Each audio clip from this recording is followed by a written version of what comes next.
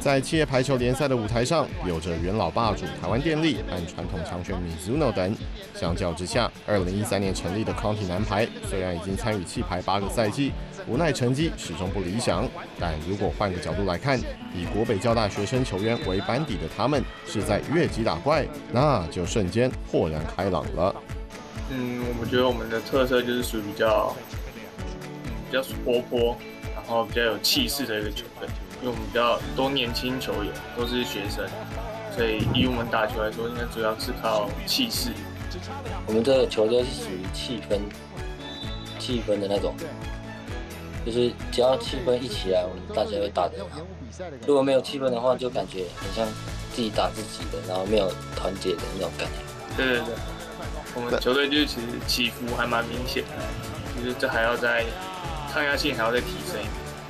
以学生球员为主体，越级挑战的目的在于学习跟成长。那带兵打仗的教练就很重要了。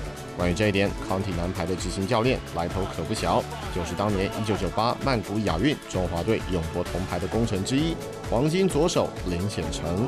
我接康体这支球队到现在第四年，那其实因为都是以国北交大的学生为班底，其实学生球队就是要有，然后再就是。在借由企业联赛这个过程当中，他们能够从中能够把技术跟心理素质，然后赶快的提升上。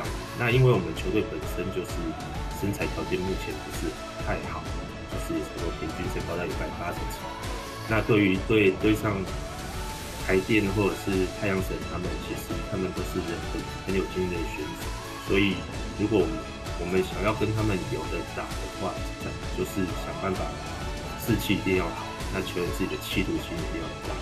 所谓的成功是建立在实质的目标上。在林显成的指教下，康体男排虽然在企业联赛的竞争力还是不如其他老练的对手，但战场转移到大专联赛，他们所属的国北交大可是常胜军，目标也非常明确，给自己一个目标，然后去达成。然后有做到，就觉得就是就有成功。嗯，我觉得我们其实追求的没有到，没办法追求到说一定每一场都胜利。但我觉得我们可以做的比较好的是，我们能把我们自己团队应该改、应该打出来的东西打出来。然后教练跟学长他们要求的，我们要做到的一些细节啊要做出来。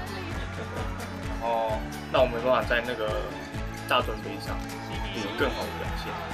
如果以企业联赛那种强度来讲，其实你如果有办法打出好的过程，那最后结果虽然可能会输，但是这个过程当中你有学到东西，我是觉得这是比较重要的。那因为我们的另外一个部分是放在大专联赛，哦，大专联赛相对也是我们比较重要的一个重点。那如果借由企业联赛这个过程当中能够提升。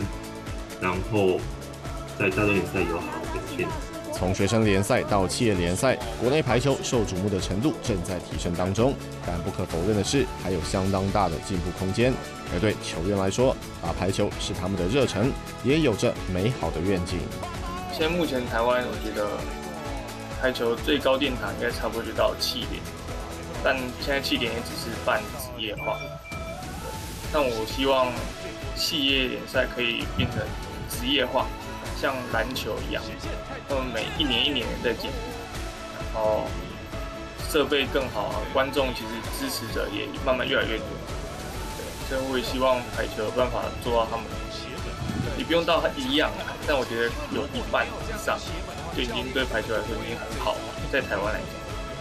从大专联赛到企业联赛，康体男排努力耕耘，为台湾排球带来一位又一位的中坚分子。等到职业化的时机成熟时，肯定还会有他们的身影。